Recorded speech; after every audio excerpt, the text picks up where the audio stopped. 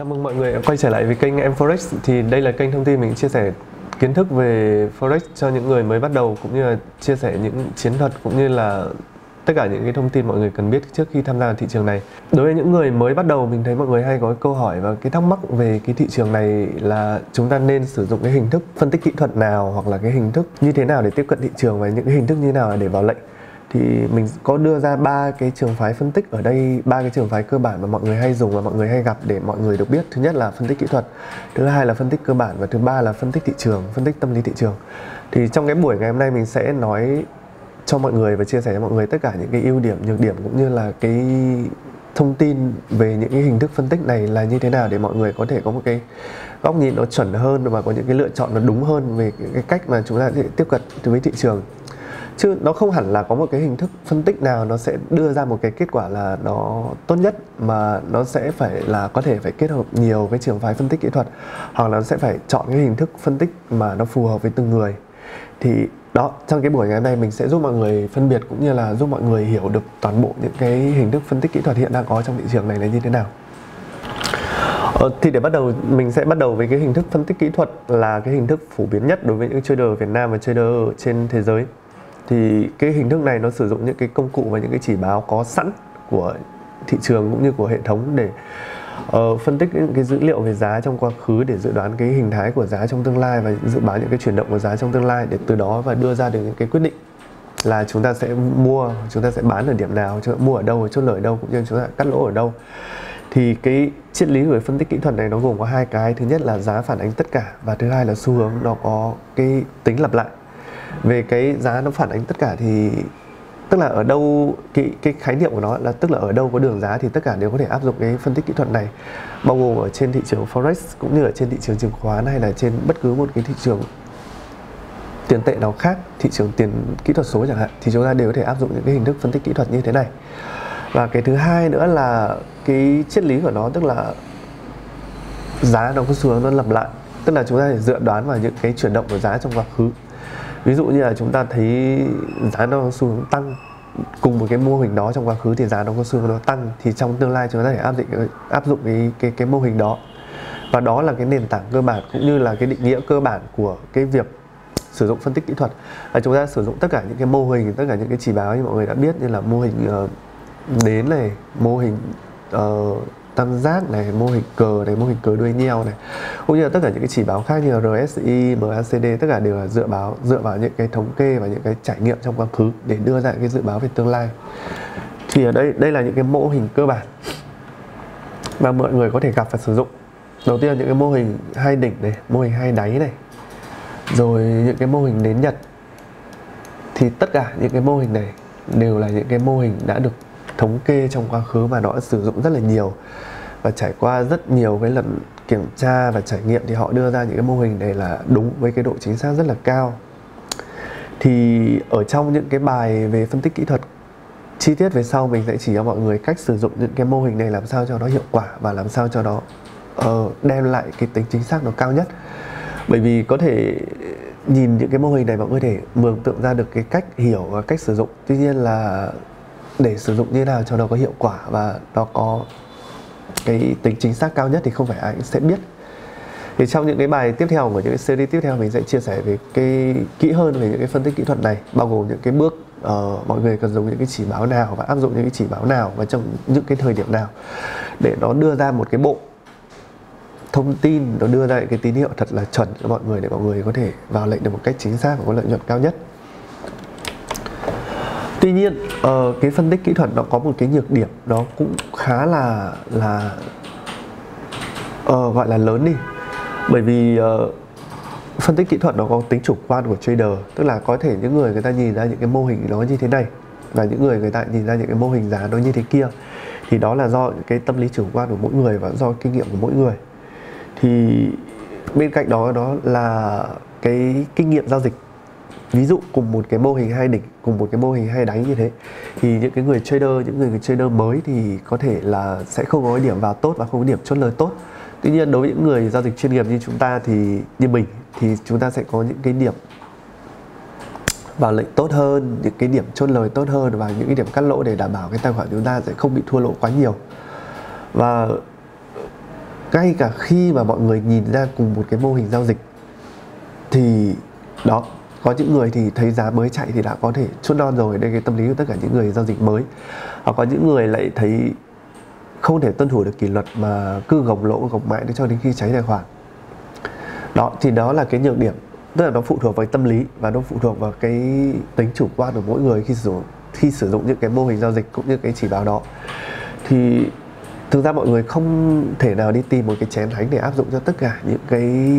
phương pháp giao dịch cũng như tất cả những cái loại ngoại tệ để có một cái phương pháp giao dịch nó đúng thì nó hầu như nó là không có. Mà thực ra nó sẽ phụ thuộc vào cái trình độ của mỗi người và nó sẽ phụ thuộc vào cái kinh nghiệm và cái kiến thức của mỗi người mà thôi. Sang ngày thứ hai, cái thứ hai mình muốn chia sẻ mọi người, đấy là cái hình thức phân tích mà cũng rất được nhiều trader ưa chuộng và áp dụng tuy nhiên là cái này mình thấy ở Việt Nam ít người dùng hơn so với cái phân tích kỹ thuật đó là phân tích cơ bản. Thì phân tích cơ bản là việc phân tích tất cả các biến số về kinh tế chính trị xã hội và có thể ảnh hưởng đến sự cân bằng giữa cung và cầu. Tức là cái loại hình phân tích này nó không dựa vào những cái chỉ báo cũng như công cụ ở trên uh, ý là dựa trên những cái cái mô hình giá, những cái biểu đồ và những cái đường giá để đưa ra quyết định vào lệnh và quyết định chốt lời hoặc cắt lỗ. Mà nó dựa trên tất cả những cái thông tin về những cái tình hình kinh tế vĩ mô, những cái thông tin về chính trị, những cái thông tin về xã hội để đưa ra cái dự đoán về thị trường. Thì cái triết lý của cái phân tích này là nếu triển vọng kinh tế hiện tại hoặc tương lai của một quốc gia tốt thì tiền tệ của họ sẽ được đánh giá cao và nhu cầu tiền tiền tệ nó sẽ tăng lên và ngược lại. Tức là nếu mà trong tương lai thì mọi người đánh giá cái nền kinh tế Mỹ phát triển thì cái đồng đô la Mỹ nó sẽ có rất là giá trị và cái cái giá trị của đồng đô la Mỹ so với những loại đồng tiền khác nó sẽ tăng. Và ngược lại, có thể đồng đô la Mỹ tăng thì những cái loại, kim loại khác nó sẽ sụt giảm giá trị. Ví dụ ví dụ như là vàng, đô la Mỹ tăng thì vàng sẽ giảm. Đó là một cái ví dụ mọi người có thể nhìn thấy rất là rõ. Ở đây mình có chuẩn bị cho một một cái ví dụ cho mọi người có thể nhìn thấy về cái phân tích cơ bản nó sẽ hoạt động như thế nào tất nhiên đây là cái phân tích nó ở cái mức độ nó cơ bản và nó rất là dễ. Chứ nó chưa đến cái mức độ phức tạp. Thì đây là cái ví dụ để mọi người hiểu cái cách thức phân tích nó như thế nào. Cái ví dụ ở đây là, nước Mỹ vừa công bố báo cáo tỷ lệ thất nghiệp. Thì cái báo cáo này cho thấy cái tỷ lệ thất nghiệp tăng lên rất là nhiều so với báo cáo của tháng trước. Thì đọc cái mệnh đề này, mọi người có thể đưa ra một cái nhận xét là gì? Đó dựa vào đây chúng ta đưa ra nhận xét về nền, nền kinh tế Mỹ ở thời điểm hiện tại nó như thế nào. Nó chỉ là một câu rất ngắn thôi nhưng mọi người có thể phải tổng hợp rất nhiều thông tin từ những cái thông tin của kỳ trước rồi những cái thông tin của những cái báo cáo trước rồi những cái con số từ những cái báo cáo khác báo cáo rất nhiều. Cái đây chúng ta sẽ phải học dần. Thì ở đây mình đưa ra cách giải quyết cho cái đề bài này là như sau. Thứ nhất đấy là thất nghiệp ảnh hưởng đến tăng trưởng kinh tế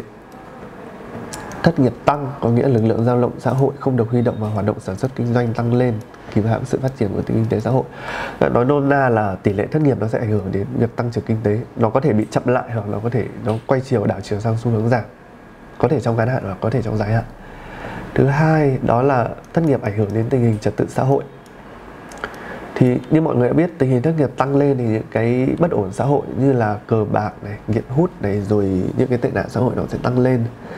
và thứ ba đó là thất hiện, thất nghiệp nó ảnh hưởng đến tình hình chính trị. Bởi vì những cái lý do trên là, thứ nhất là tình hình kinh tế giảm này, thứ hai là bất ổn xã hội leo thang, thì người ta sẽ mất đến những cái, mất niềm tin vào chính trị và mất niềm tin vào cái nhà cầm quyền. Tức là